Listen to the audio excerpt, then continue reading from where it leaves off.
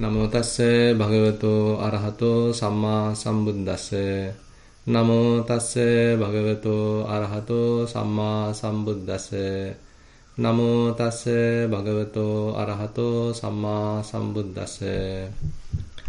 Uh, as you all, you all can remember uh, we started uh, Brahmajala Sutta which is the first sutta in the Diganikaya and uh, if I quickly uh, summarize what we did last time so at one occasion, Buddha and the Sangha was traveling between Rajagaha and the Nalanda. It's a long path.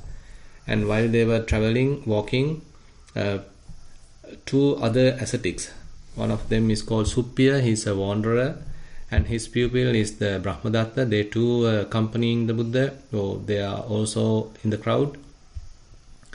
But uh, was uh, criticizing the Buddha and the Sangha and the Dhamma, while his student Brahmadatta is trying to defend, trying to sort of explain the qualities, the good qualities. And the, this uh, discussion keep going on even when Buddha uh, spend a night at other place. They too has taken the rest there. There also that their discussion continued. Suppiya is blaming or criticizing while the Brahmadatta is trying to defend.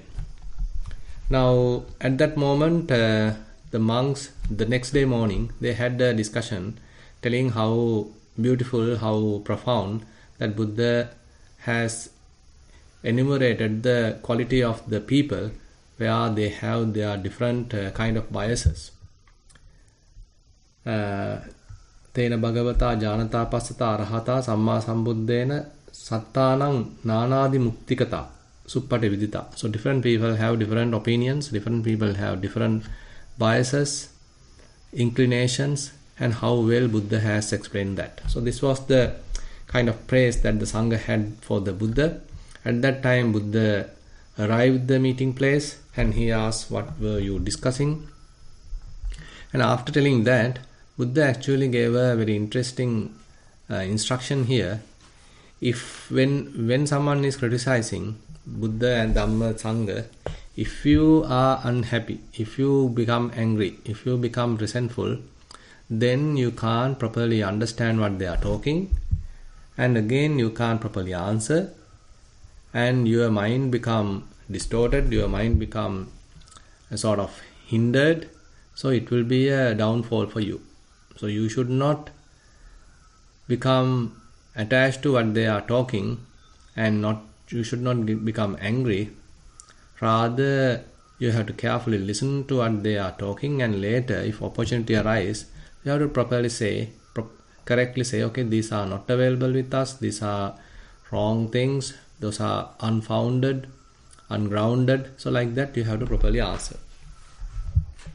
On the other hand, when someone is uh, speaking, uh, sort of praising, so at that moment, if you are delighted, if you become so uplifted, elated, they are also you can't understand what they are talking, and uh, they are also your it would be a hindrance for your practice.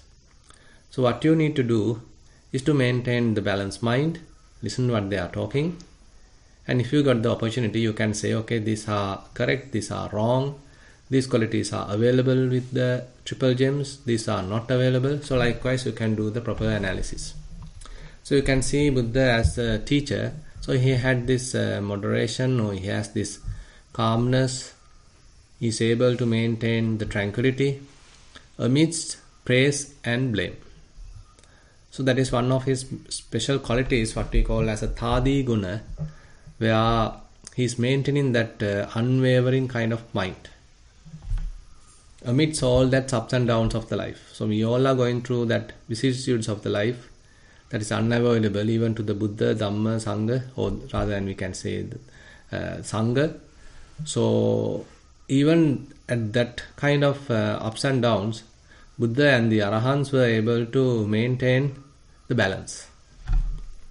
Now, further, Buddha adds here, starting with his uh, explanation, he says that when people are praising, they are actually praising me for some elementary or inferior matters particularly about the moral practice, it doesn't mean that he has uh, looked down the moral practice, but rather these are trivial, these are obvious. So Buddha not killing animals is an obvious thing. He not taking what is not given, not stealing is something obvious. He's not getting involved with sensual pleasures, sexual pleasures, it's obvious. So likewise he keep on explaining the Chula Sila, where the short section on morality, all the typical precepts are there, explained, 10 precepts are there. And further than that, there are uh, certain other things slowly get into the picture which are relevant to the higher ordained monks, like uh, not uh, harming the plant life, not harming seeds, uh, and not doing any kind of uh, messaging from one one layperson to another layperson, not carrying any messages, and not getting involved with the uh, sort of mean or law kind of uh, science, kind of uh, occupations. So he keeps on explaining that uh, the middle, rather the short section on morality, and then he keep on explaining the middle section of morality, which is an explanation of what we already discussed. So particularly about the seeds, how they are, which are the ones propagating their species. So those maybe through roots or seeds or stems. So the monks are, or the Buddha is basically does not destroy that. And people, the worlding would praise the Tathagata, the Buddha, based on that. So Buddha says those are trivial things. And again, the storing of goods and enjoying the stored foods. So that is something Buddha does not accommodate, and people might uh, praise him for that and he does not involve with dancing, singing, music, displays, recitations, fairy shows, acrobatics, etc. etc. And that is also something that people would praise for the Buddha, but Buddha says those are trivial, immaterial things. So likewise, he keep on explaining the morality, and uh, so then we came to the large section on morality. So there are particularly various kinds of uh, occupations various kinds of uh, with respect to the high ordained monks, high ordained sila, high ordination. So there are not appropriate for a monk to get involved with. So certainly Buddha is also not get involved with such things. Very much like uh, forecasting, uh, farm, fa- palmistry, uh, talking about the dreams, giving certain forecast about the dream, analysis of the dreams and talking about the body marks uh, and and certain other things like uh, judging the gems uh, any any kind of patterns in certain certain phenomena. So likewise it's keep on going. And uh, whether predictions about a war whether there's a war going to happen between two groups, two kingdoms, and who two kings, who is going to win, who is going to uh, sort of lose, who is are they going to take over? So likewise, certain predictions with respect to politics, with respect to administration, all that, and uh, maybe about the climate. Uh, today going to rain, today is not going to rain, there are going to be a tsunami. So likewise, various kinds of uh, climatic predictions, and uh, then doing some marriage arrangements, reading the horoscopes, uh, that part of it. And those are all basic kind of below type of arts or below kinds of professions which are not suitable for a monk.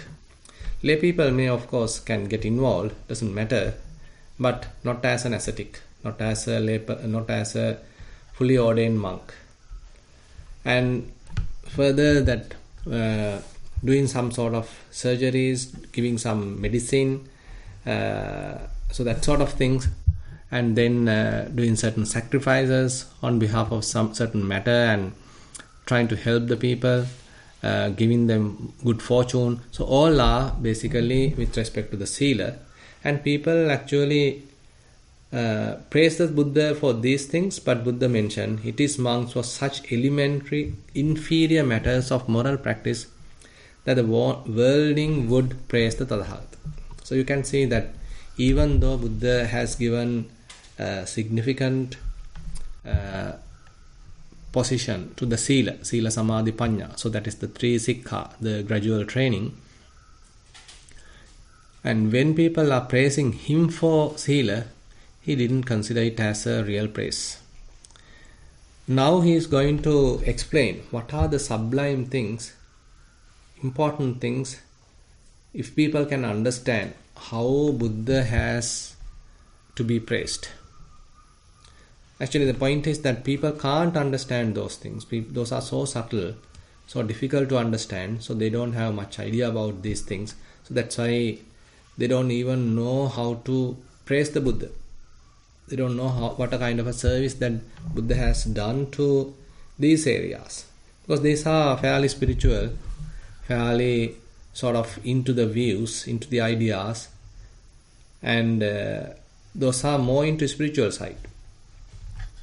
People, much of the people, large majority of the people are not into that, so they have their children to look after, wife to look after, or they have to involve with their say materialistic uh, goals occupations etc etc so they have these mundane things which are more important for them. They don't have time to get involved with some uh, deeper spiritual goals or deeper spiritual teachings so they don't know much about that as a result of that they don't know how to praise the buddha buddha's service buddha's uh, contribution towards that spiritual side is not known to many. Now he is going to explain uh, how these spiritual people, after they get involved with the spiritual side, leaving aside the uh, lay world, how can they become entangled in various wrong views? And there are such 62 wrong views explained here. Now, those can be divided into several groups. So, we will start with the first group, which is called Pubbanta Kappika, speculators about the past. Now, interesting thing is, after one becomes a monk or some other ascetic, so they have some time for their own uh, spiritual quest. They don't, they don't have to spend time on raising their children or attending various uh, other mundane day activity. So they don't want to uh, plowing and getting involved with occupation. So likewise they have some time for their own spiritual quest. And so they start meditating and uh, and basically uh, they develop fair amount of uh, concentration so assume that there's a monk who given up all the uh, all of his possessions, his uh, spouse, relatives, and then he became a monk. And he is ardent in his practice and was able to develop jhana, master the jhana, and then he was able to attain Pubbe jhana. So that is the facility, the, that is the uh, capability to recall past lives so while recalling past lives, now he is uh, throwing it, expanding it. He is now able to recall one birth. He is able to recall two births. He is recalled to uh, say recall 10 births, 20 births, 100 births, 1000 births, 100,000 births, many, many hundred thousand uh, births. So likewise, now he is keep on recalling his past lives. And it's also happening very vividly. So he can remember where, where he has born and what was his name, what was his clan, and then uh, say uh, what was the caste and how he was doing, etc. Uh, etc. what was the food, how he has sort of behaved, all every every information. It's very much like you are rewinding the episodes. You have in a particularly at this particular life, but you are rewinding your past lives, previous lives, Now each and every episode is now visible in a in a more spotless manner. So it's everything is clear. So he has a very good vision about his past lives. And uh, but the interesting thing is this keep on going, and uh, there he come to a wrong conclusion, and he say the self and the world are eternal because he can see he is coming from this life to another life, another life, another life, keep on going on, never ending. So he simply decide, okay, the self and the world is eternal, and you have no. You can't do any change at all, and your will or your uh, say intention don't have much impact it certainly has impact on where you may be born, but things are rolling, never stop. It's eternal. And uh, these beings rush around, circulate, pass away, and re-arise, and this remains eternally. Because I have seen it through my own through my own wisdom. So this is how he proclaims. Now this is how the first wrong view arises which is actually with respect to the past and he decides okay things are eternal now there's another wrong view there he is even capable and he even able to uh, recognize how this whole world system come to a destruction and then again re-arise. And so such kind of a contraction and expansion of this whole world system he was able to recognize. It's taking long long time.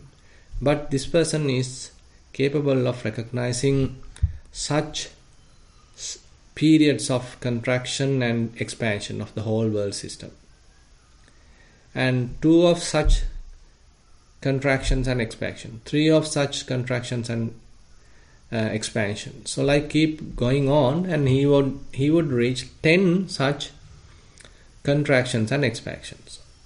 It's a long long thing takes really long time years but this person is capable now he can see that all and there also he come to the conclusion and he can see his his own past lives so he come to the conclusion again uh, thinking that everything is eternal. Eternal in the sense, particularly his life was eternal, and uh, because it is rolling again and again, even when the uh, world is destroying, again it is re, happening, reformed, but the life is continuing. So he decides, okay, life is continuous, eternal. So this is the, the this is the second wrong view uh, where he come to a conclusion by seeing the contraction and expansion of this whole world system again again you can see it is based on meditation by the way first one also based on meditation second one also based on meditation particularly about the concentration so the concentration is so powerful he is able to develop the Pubbe Nivasanusati Jnana recollection of, of the past lives using which he is now recalling. Now he can even recall 10 contractions and expansions of the whole world system. Now there's another third uh, wrong view. Actually, here also the difference is about the skill that this person has for the recollection of the past lives. So, this person actually has even more capacity to go beyond 10 contractions and expansions and he would uh, stop at the 40 periods of contractions and expansions so these how things are divided like and uh, සංවට්ටානි විවට්ටානි සංවට්ට විවට්ටානි චත්තාලී සම්පි සංවට්ට විවට්ටානි there are 40 expansions and contractions he was able to recognize again and again he can understand okay how he lived what he ate and how was his past life and who that he has accompanied so all the details are available to him and he decides okay life is eternal. Let's keep going on. I have seen many 40 number of contractions and expansions of this whole system. Life is continuing. People are born from this to there again come back again reborn. It's continuing. It's eternal. So he comes to the wrong conclusion of based on that. Now that is the third wrong view now the fourth wrong view it is not based on actually the meditation. It is based on the logic. So there is a person an ascetic he is a logician a reasoner. So he can actually uh, argue properly he can actually think about properly reflect properly reason out properly and based on his own inferential knowledge logical knowledge logical understanding line of thought he argues the self and the world are eternal. And he he has evidence for that his own based on his own ideas his own views. So basically he's a very good logical thinker. Based on his own proliferation he actually come to a conclusion. So this world is eternal.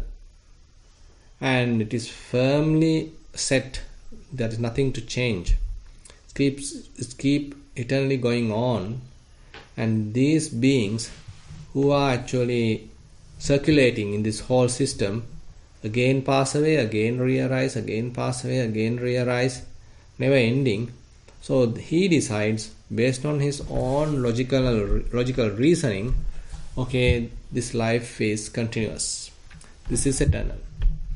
These are the four ways buddha say that the ascetics and brahmins are have become eternalists and proclaim the eternity of the self and the world on four grounds. And he basically concludes apart from these four grounds, there is no any other complete eternity, eternity for someone else to define.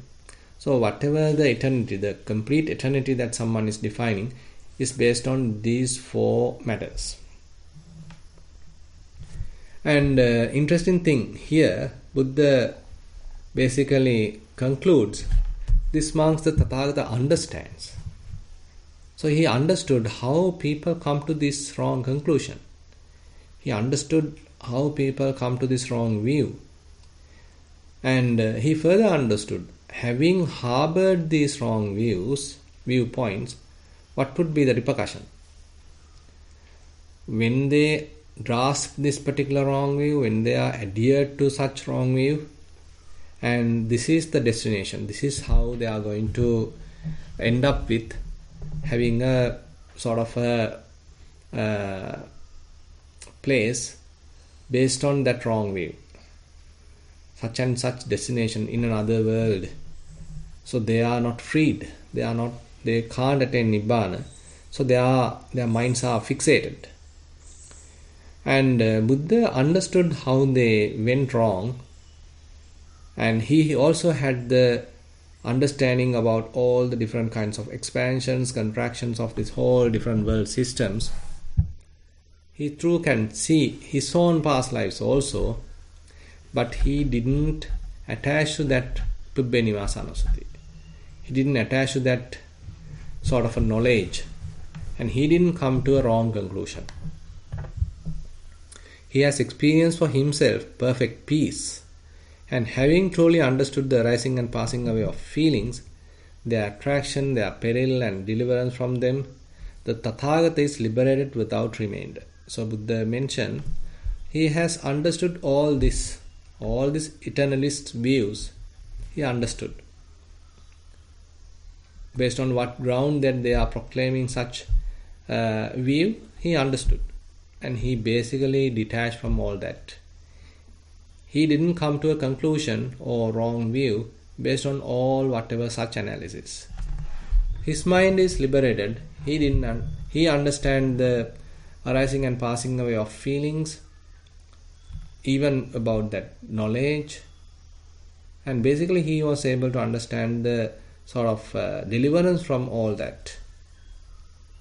And so his mind is very much like freed liberated. So the Buddha here mentioned, okay, these are in a way the profound matters, hard to see, hard to understand. People can't see these things. People might see only a, only about this life. They can't even see the past lives. Even the immediate past lives, they can't. How about 10 past lives, 100 past lives, 1000 past lives, 100,000 past lives, many eons, many contractions and expansions of this whole world systems. So it's a vast subject. So people don't have such capacity. And even when someone has that capacity, how they come to a wrong conclusion. So that is where the problem is. So they come to a wrong conclusion based on those wrong data. And because they have limited capacity to see all this, and that is where the Buddha's wisdom highlights. So here he mentioned basically his wisdom is capable of understanding all that. He was able to understand all this, and basically he decides so these are kind of limited views, these are wrong views. And he uh, understood only this people have some partial knowledge. Based on that uh, they come to the wrong understanding wrong view. And uh, and buddha having understood all that he was able to detach from all this. So since they are since buddha is detached he was able to see the truth see the realities. So his mind is uh, uh basically liberated and basically so if someone can see the sort of profundity of here, profundity of Buddha's understanding at this respect, on based on this context, that is something to be praised. So you can see the argument here. So people have very limited understanding, even though they have some extraordinary capacity to see their past lives. They are also their understanding is very limited. Even though we are talking hundreds and thousands of past lives here, even though we are talking 40 uh, uh, contractions and expansions of the whole world system, but still it is something limited when it compares to the Buddha's knowledge. He understood all this and he is detached from all this. He didn't grasp this uh, view a kind of a conclusion, so his mind is liberated. So, if one can appreciate the Buddha's teaching based on such profound understanding, so then Buddha say, okay, this is some fair ground to praise him. And uh, then we come to another set uh, that is called partial eternity and partial non eternity. So we are going to different deep subjects here. Now we already discussed about the eternity, foregrounds on that. Where they simply say, okay, entirely the whole world system, whole life is utterly continuous, utterly eternal, never ending. So that is the four eternalist views that we already discussed. Now we come to another set which is called partial eternity and partial non-eternity. How that happens? Now, now, now, actually, you can see that how Buddha look at the whole world system. Uh, Buddha say uh, there comes a time, monks, sooner or later, after long period, when this whole world contracts that means basically here it is destru- destroyed. And that such such kind of a destruction so beings are mostly reborn in the Abhassara Brahma world. So this uh, Abhassara Brahma world is uh, we can say the Rupi Brahma world a fairly uplifted state of mind jhanic level. As far as I can remember I think it belongs to the fourth jhana and uh, it's a very long lifespan. And they spend there So large majority of people are born there now in this Brahma world, and they dwell there and they have some extraordinary capacities, and they can create anything using the mind, and they are fed by delight, they are through their happiness, and they have their self luminosity, and they can fly through the air and glorious. So you can visualize, you can imagine such a capacity. Uh, say you are you are able, you don't need the airplane to travel. You, you, you don't need vehicles to travel so you can travel by yourself. You have your own mental power to travel and you have your own glorious view. You can create anything you can mind made anything. And you are emanating sort of uh, rays kind of light and you are such a glorious kind of a person. Now you are living there for a long long time. Now people are living there for a long long time. And uh, by the way there's another empty brahma realm is appearing. No nobody is there yet. All are in the Abhasara Brahma realm, but there's another Brahma realm. Nobody has risen there yet. It appears and uh, one being who has passed away in this Abhasara Brahma realm will be reborn in that empty Brahma realm. Now he is the first comer. He is the one who appeared first in this new Brahma realm. And he is again is a glorious person. He is again has all that capacities. He is now in a separate place, but he is alone. Nobody is there is the single Brahma. And he too is self luminous, moving through the air, feeding on light, glorious, mind made. And he lives there for a long, long time. And later he feel lonely. so he wish, okay, let the other beings also come here, so I may have a company then. So I can't bear this loneliness anymore. Let other beings also appear here. So he has such kind of a wish. Now another being who are passed away from the abhasara brahma realm. So he appeared in this new brahma realm. Now already that the first comer was there. This newcomer has seen this previous guy and few more are again coming in coming in coming in they all notice the first comer so the first come that uh, that Brahma basically has an idea. Okay, I may be eternal because these beings are coming and they have short lives compared to myself. So other say newly come uh, Brahmas they spend some time and they pass away. But the first come the very first Brahma he is fairly long life and he can't see any change in him so he see that others are coming and going. So basically he decides, okay, I am a Brahma, the great Brahma, the conqueror, the unconquered, all seeing. I can see the whole thing. I am the Brahma. I am the Maha Brahma. I am eternal. Now he come to the conclusion, okay, I am eternal. The other Brahmas also they also conclude the same thing. Okay, this fellow was before us. And even when our group someone of our companions are passed away still this fellow is still there. So he should be the ruler. He should be the creator. He should be the lord. He should be the maker of the world. And uh, he's the appointer. He's the orderer.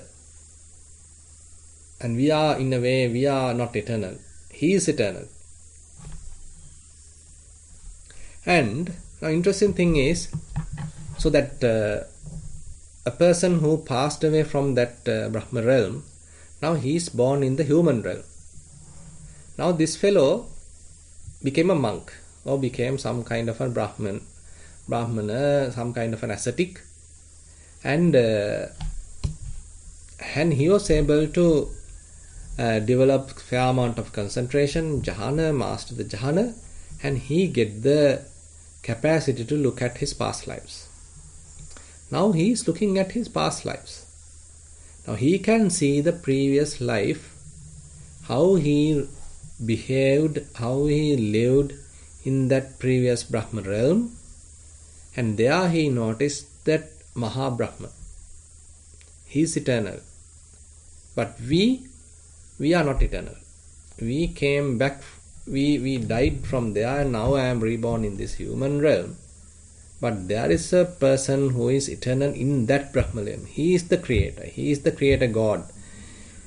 He is the superpower and he is actually the one who is created us and he is the sort of all seeing Mahabrahma, he is the conqueror, he is the creator God. Now he comes up with this view. So there is partial eternity and partial not eternity. So partially eternal in the sense that there's a Mahabrahma, the creator God, he is eternal, he's, he's existing forever, he is the one creating us we are not eternal.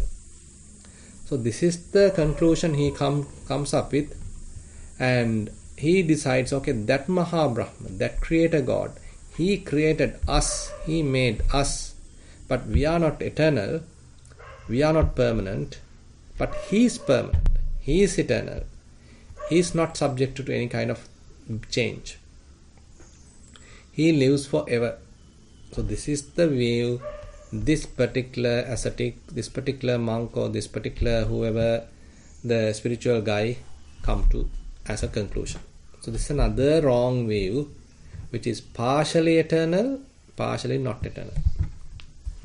Okay, so that is the fifth one. Then the sixth one. Now there's a Deva realm.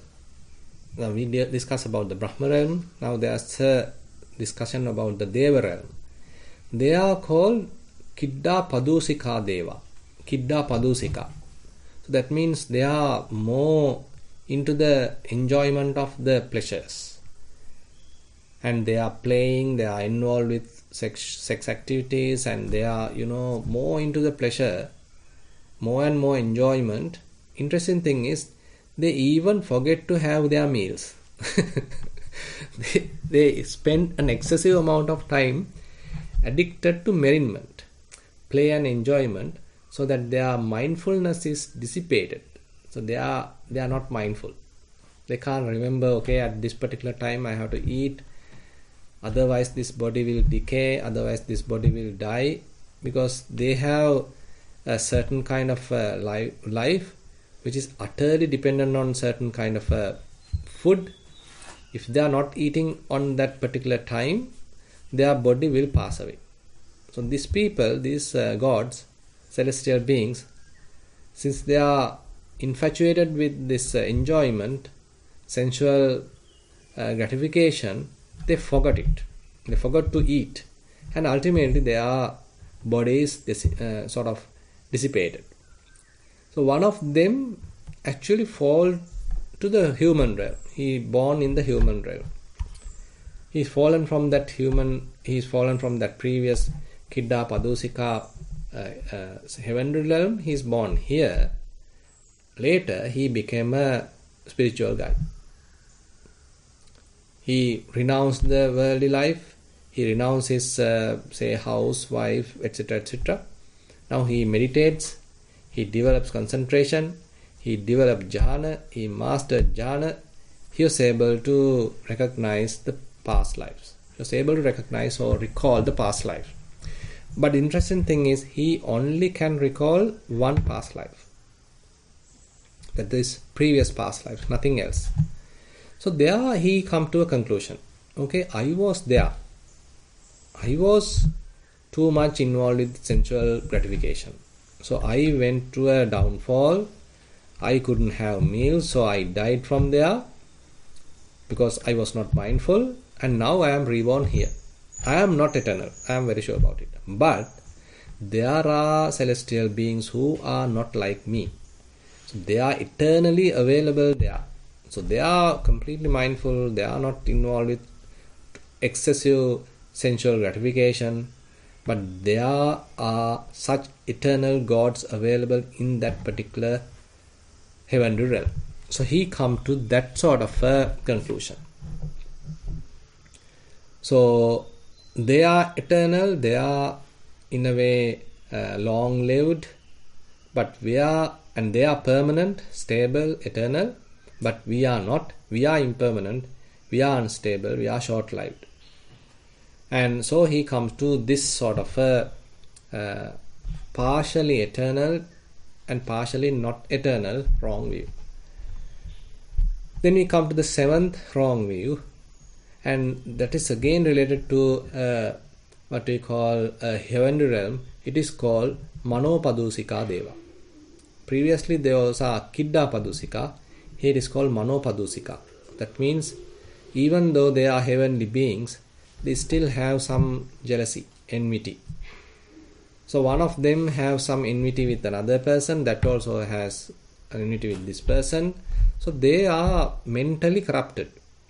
Even though they are born in the heavenly realm, they are jealous of each other, and that corruption of the mind caused them to die from there.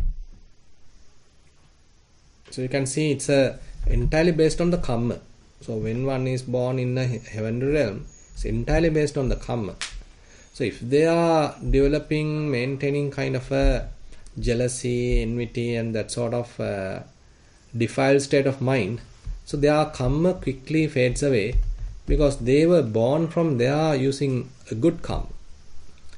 And again, their body is spontaneous, fairly dependent on the karma. So when they are developing sort of unwholesome state of mind, starts deteriorating. Ultimately, the body completely dis- completely destroyed or disappeared, and they die from there. And that is the person who now born here in this human realm. The same story follows.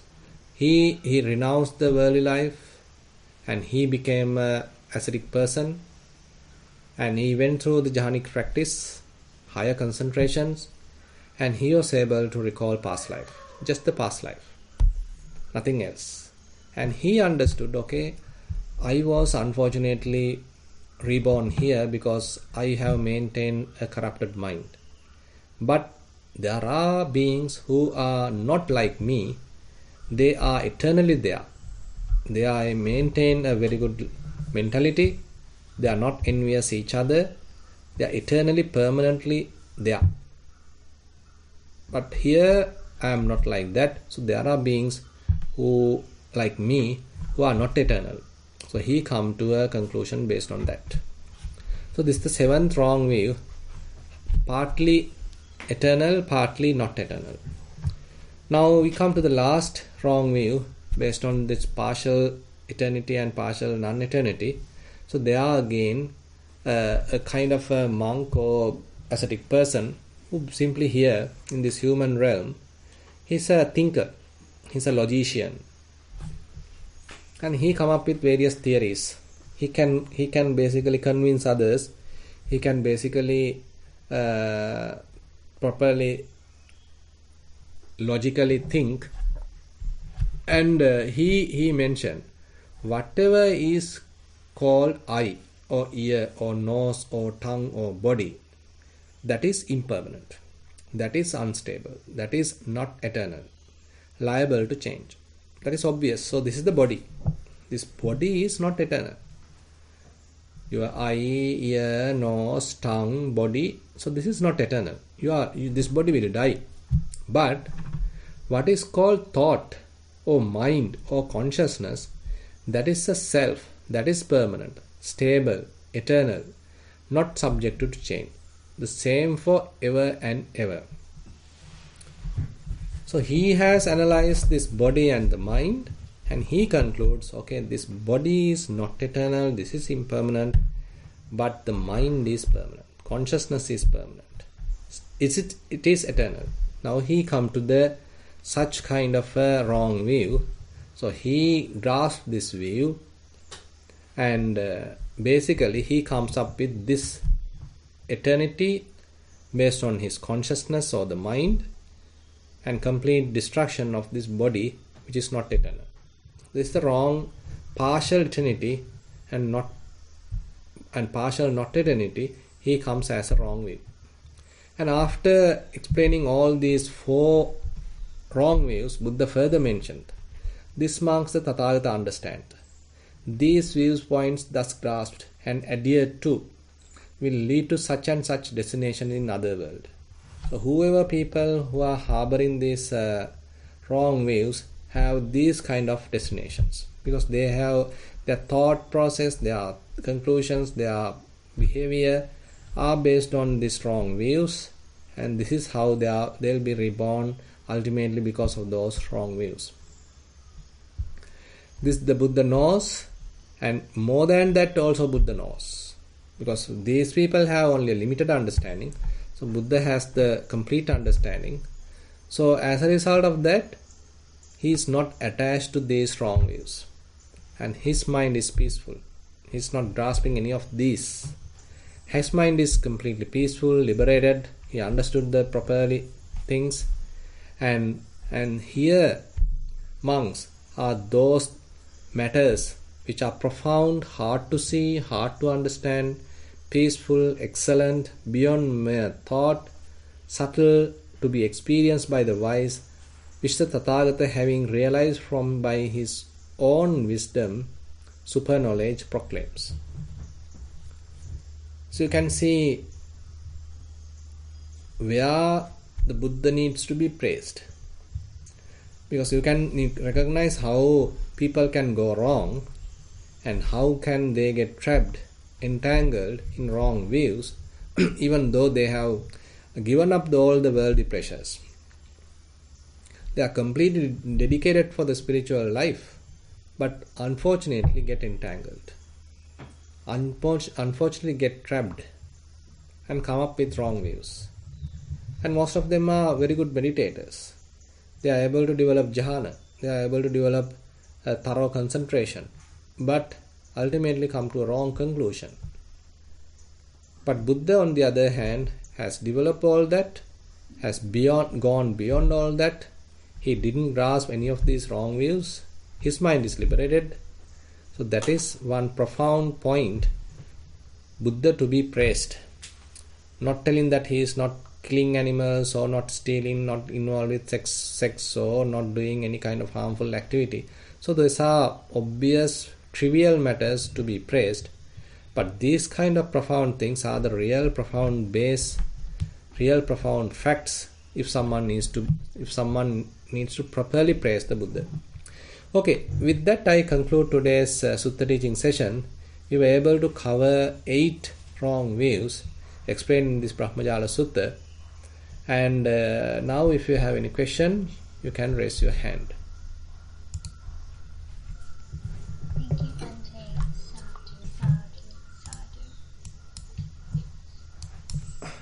Are there any questions on your side, Bhante? No, everybody understood.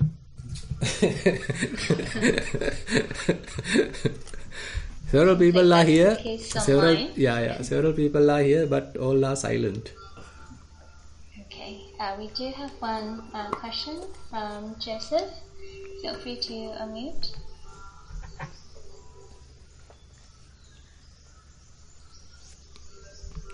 Hi, Joseph. We can't seem to hear anything. Hello, can you hear me now? Yes, yes. Yes, we can hear you now. Sorry about that. Hello, Bhante. Yep.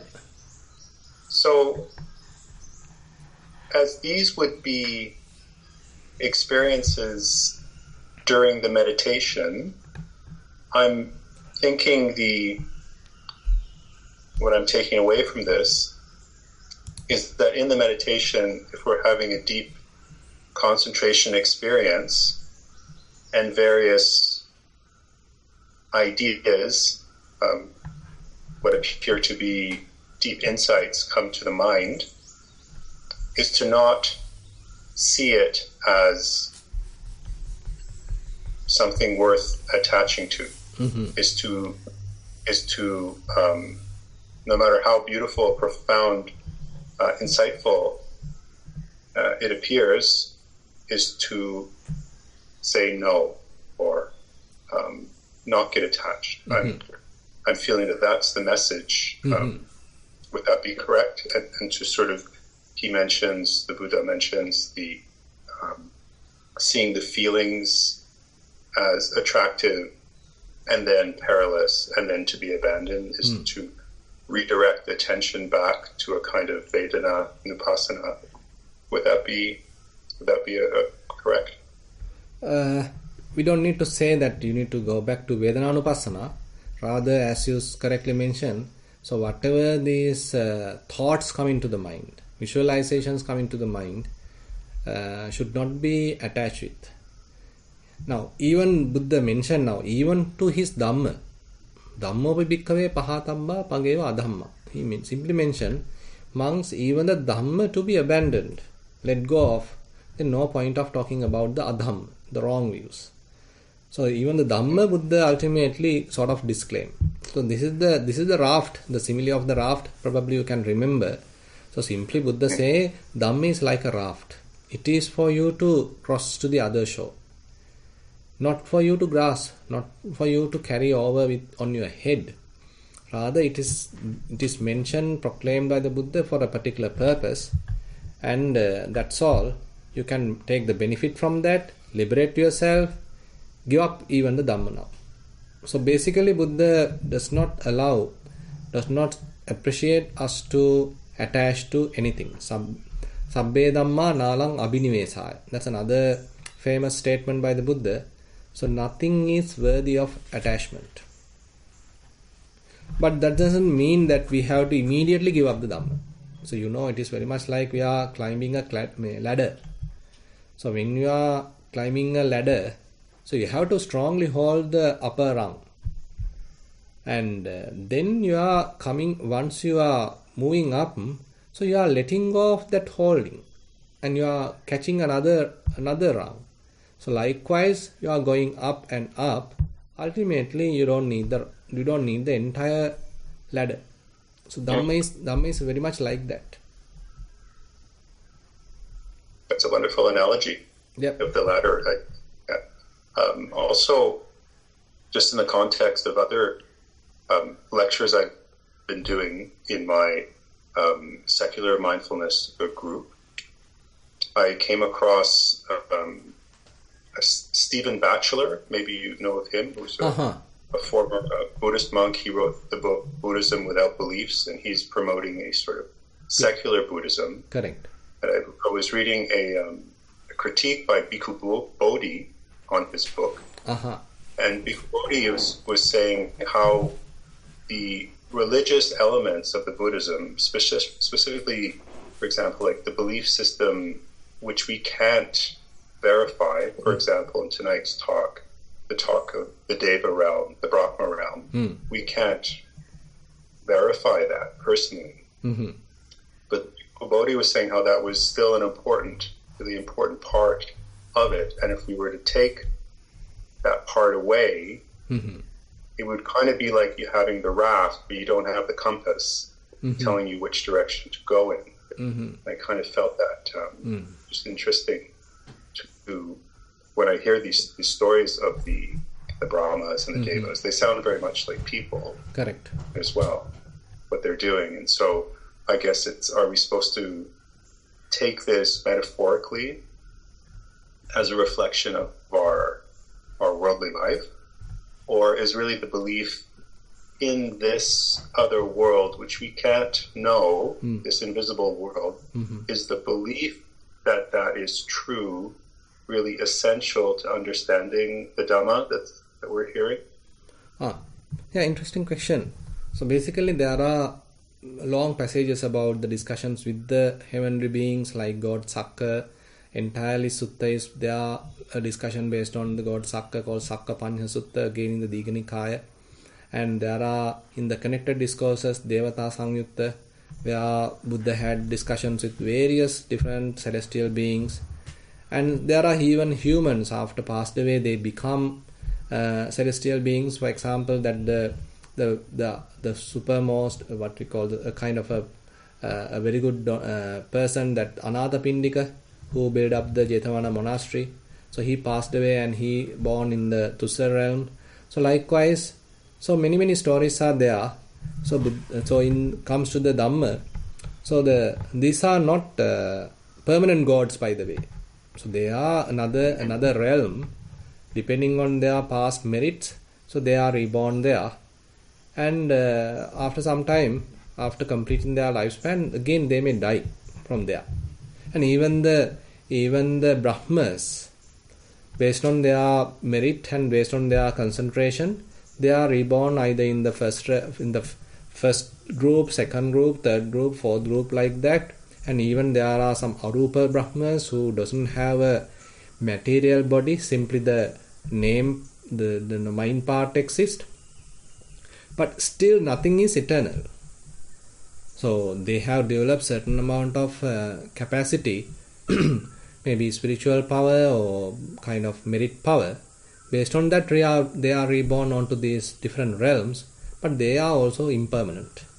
So that's the kind of a view that the Buddhism gives us. Not not a creator God or not a eternal God, not a single God. Rather, there are many gods. They are separate different realms.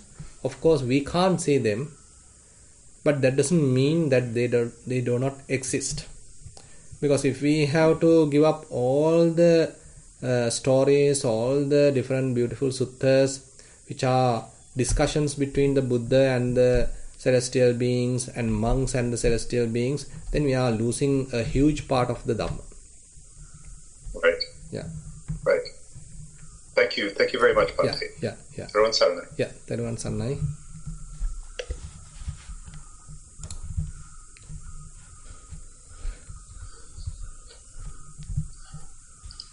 Uh, I'm not seeing any other questions, Bhante. Yeah. Any question from here? Yeah, we have a question from here. Yes. So um, I don't know whether I'm asking too early this question because I'm leaving on Sunday. Uh-huh. So you are in the middle of this uh, explanation. Right. So as per I, what I have heard, Mm. so these 60 there's are like 62 traps in Brahmajala Sutra, Buddha mentioning Mm-hmm. like whoever in the Sotapatti Marga, Mm-hmm. uh, in the path, Ah, will eliminate. uh, yeah, yeah, we can say so because even now here we already discussed eight wrong views. So there we can say he has certain attachment. yeah, So he is grasping a particular view. So grasping particular view is something we can uh, recognize available as a worldling. But uh, when it comes to the what we call a sotapanna, so there are three three particular fetters that he may give up. What we call sakkaya ditti, the personality view, uh, the vichikicha, the doubt, and then the silabbata paramasa, where he is strongly adherent to rules and rituals, kind of adherences, observances. So the wrong views is another thing we can include here. Uh, so Sakkaya Ditti is the one uh, strong ground which leads towards these wrong views. So, in order to have a wrong view, there is a considerable affirmation of a self in oneself also, and he is affirming, affirming a self in other person also. Now, all this here we see if there is a permanent God. That's a you know as a person, as an individual, he's an individual. So that's a kind of affirmation of a affirmation of a Sakkaya Ditti. yeah, So he is considering him as a superpower, him as a person, him as an individual is a person. So such kind of thing cannot happen in a Sotapanna. Because he, he sees everything is impermanent, all are merely five aggregates. So these aggregates are, you know, uh, maybe helping each, each other and they are different condition conditionally dependent uh, dependently uh, risen they are not eternal. None of them are eternal. So what we had are the existence of co- this uh, dependent arising of these five aggregates. Currently what we have is also like that. Even if i have in the future that is also like that. And again you are extending it to the others also. Yeah. whoever we say gods whoever we say man humans or celestial beings they also are nothing apart from five aggregates so such kind of a view completely destroy all these uh, what we even discussed today all the eight views we just discussed are become completely invalid based on the understanding of the buddha the dhamma that he has directed yeah yeah So therefore, as you said, a Sotapanna can't have any of these. Hmm. Yeah. And adding to that, um, in Loku Swaminwahanse, one of the uh, sermons I heard, Hmm. like You uh, please talk louder. uh, sorry. So I heard one of the Loku Swaminwahanse uh, discussion. Mm. He was explaining whoever practicing insight meditation, Mm. he will face only 17 uh, these kind of traps, Ah. but 45 of uh, uh, them will face by some of the practitioners. I'm not sure, I'm just asking. so we'll, we'll, we'll come to that uh, yeah, uh, because maybe uh, too early to ask this. it's already asked Sorry. because uh, from these 62 wrong views there are 49 based on meditation entirely 49 based on uh, uh, meditation so 62 minus 49 how many 49 10 uh, two, uh, 13 no Yeah. 13 is apart from meditation so now even today we discuss two now among these eight six are based on meditation Okay. and two are not based on meditation rather based on contemplation or we can say logical reasoning Okay. logical reason two out of eight are based on logical reasoning and we'll go through all 62 and come up with the statistics Okay. and uh, so the point is uh, I, I can't say that uh, even uh, Vipassana meditator at his early stage is entirely free from all the wrong views. As you said, he has to attain the Sotapanna for him to completely ema- avoid any of these wrong views. Before that, he even can come to a wrong view, isn't it? Now, say for example, Sati, for example. So Sati, the monk called Sati, that is the theme of discussion in the Mahatanha Sankhaya Sutta, where he thought, okay, consciousness is permanent. Very much like uh, the last, uh, last partial, partial eternal, partial not eternal view. The body is not eternal, but the consciousness is eternal. So he came to that wrong conclusion. He being a monk, Yeah. then Buddha has to refute it, Buddha has to explain it is not correct. So likewise, uh, people can go wrong. So till till they have thorough understanding. Hmm. what I heard was like insight meditator, he go with the wisdom. Yeah, yeah. So he's having some kind of assurance Hmm. rather than the, uh, the concentration practice. Definitely. Yeah. So this concentration practice, in the sense, uh, now here all what we have discussed so far are talking about the past lives, Yeah. based on not not merely concentration, but rather the concentration is developed to a higher level. So they are able to master jhana using the mastery of jhana. He is developing one abhinya called the Pubbe Nivasanusati. So, but point is that Pubbe Nivasanusati is limited. He only can see either just one past life, or he only can see, say, a hundred past lives, thousand past lives, hundred thousand past lives. Not a sort of endless kind of past lives. So based on that, he make a decision. They, they made the decision. So Buddha mentioned now Pubba Koti na Panyaya. So you can't recognize the beginning of this whole thing. Yeah. That's so the samsara is like Samsara is like- as karma. Yeah. Yeah. So it's a kind of a, in, a kind of a it's a very very long journey that we are in, but it doesn't mean we are eternal either. so we can end the whole thing. That's another thing. So we definitely had many many past lives, innumerable number of past lives. They are that is also not a person being you know traveling from one to the other, but we are giving supporting conditions at each level to these five aggregates, isn't it? So, yeah. So it's now carrying momentum to the next life, next life, next life, next life. But if we thoroughly understand that as a truth in this life, there may be a possibility to, you know, go away from this trap. Hmm. So we are in a circu- circulation, in a complete circulation in this uh, samsara. But once you realize the Dhamma, you are cutting off. Something like that. Yes. Yes. So it's a, in a way, I mean, that is where we need to understand what a what a profound understand Buddha had, yeah. isn't it? So that is why Buddha again and again highlight. So talking his sila is very trivial. Yeah. Telling that he is not killing animals, he is not involved with sex, he is not lying, he is not taking intoxicants, or he is not uh, using money. these are not real matters for him to be praised. These are, in a way, obvious things. But the, the, the wrong views that can arise in the spiritual realm, spiritual world, and people get trapped, they come to wrong conclusion, and that is what ultimately they preach to the others. Isn't it? The world, the, the human realm, the other lay people, they believe these people. They are telling the truth, okay, they are there's a creator God, there are eternity, all that they proclaim and the other people will believe and they fight each other. Each other. Hmm. So those are the areas in that sense. If we thoroughly understand, okay, the Buddha has basically seen the whole picture, the big picture, and he realized, given up everything, liberated. Yeah. Something like that. Thank you, yeah, Bharat. yeah, yeah. Theravada. Theravada. Okay, that's all from our side, Jennifer. Then we'll conclude today's discussion and we'll recite the traditional verses.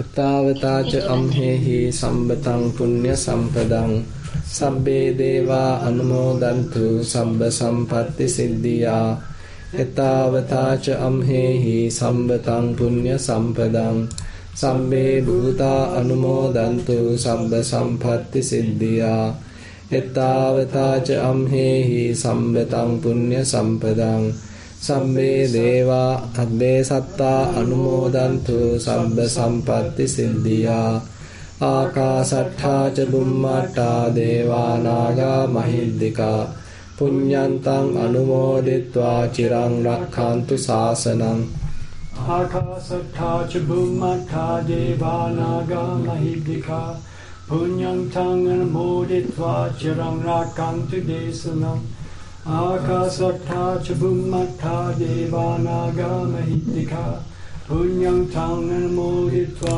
จิรังรักขันตุมังพารัง ඉදං වෝ ඥාතිනං හෝතු සුඛිතා හොන්තු ඥාතයෝ ඉදං වෝ ඥාතිනං හෝතු සුඛිතා හොන්තු ඥාතයෝ ඉදං වෝ ඥාතිනං හෝතු සුඛිතා හොන්තු ඥාතයෝ හිමිනා පුඤ්ඤ කම්මේන මාමේ බාල සමාගමෝ සතං සමාගමෝ හෝතු යාව නිබ්බානපත්තියා ඉමිනා පුඤ්ඤ කම්මේන මාමේ බාල සමාගමෝ සතං සමාගමෝ හෝතු යාව නිබ්බානපත්තියා හිමිනා පුඤ්ඤ කම්මේන මාමේ බාල සමාගමෝ සතං සමාගමෝ හෝතු යාව නිබ්බානපත්තියා සාදු සාදු සාදු.